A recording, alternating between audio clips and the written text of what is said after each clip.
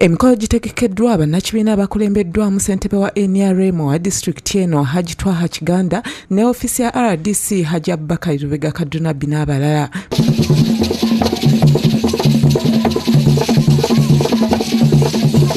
bassentebe ba lc3 okuli segawa ne alinest munene n'omubaka aisha sekindi bamwanjulidde obuzibu bwe basanga mu kugabanya ebibiina by'abakyala ssente ezitagenda kubabuna ate nga nkutegeeza ebibiina ebyo nga nakuwadde foomu zaabwe osobole okugjamu tetatuukiriza bintu.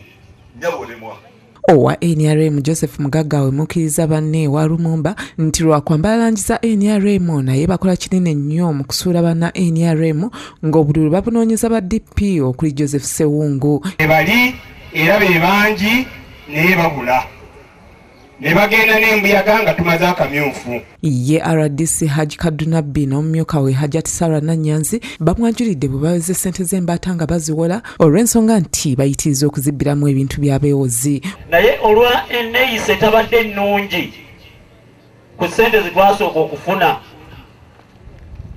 yensonga lwaki batujja ku lisiti y'abo abateeka okuba nga tukyazifuna? Era maama nkutegeeza ntwawera embaata wano minisita omubeezi owa microfinance haruna kasoro waalabulidde nti wakukwata ebibiina bya sako ebinyaga ssente z'abamemba baazo. Lipooti njiina era abamu tugenda bakwata sako erina okuddawo twalina gyongeramu amaanyi. Mukyalo lumumba abanyonyodde gyenvudde wa nrm ne pulezidenti museveni n'alabula ab'ekalungu obutazanyisa kifo kya minisita kyabaweebwa. Bannange baabawa obukulu tebubuzanyisa abaana baffe baligambanga nti kabe kalungu babawa bwa minisita okutujja mu bwavu ne bukola ki? Ne bubalema. Lumumba alambuludde ku ba dp okulina abadde ssentebe waabwe mu ggwanga lyonna beswali kezaala nti basalawo ku lwabwe n'asamba gye bibadde byogerwa nti baamala kugulirirwa.